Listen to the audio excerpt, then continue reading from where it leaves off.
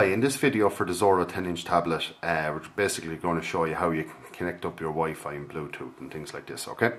So basically, uh, you just, on your home page here, you just click the settings icon and you can see there at the top you have a thing called Wi-Fi and you have a thing called Bluetooth.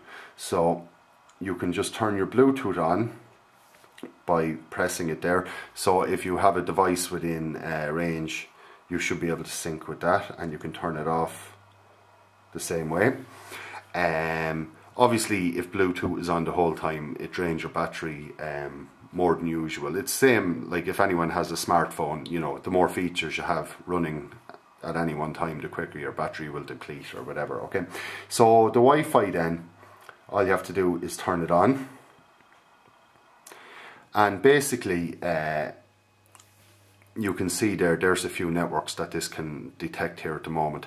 So on your router at home, um, usually on the underneath, there's a little sticker with a key, uh, as in like a secret password, that you know, it could be numbers and letters, something like this. And all you have to do is click into the one that matches your own and then type in the password. Now remember that the password is case sensitive, so um, just be aware of that. A handy feature when you're typing is to actually click the show password so you can actually see what you're typing okay?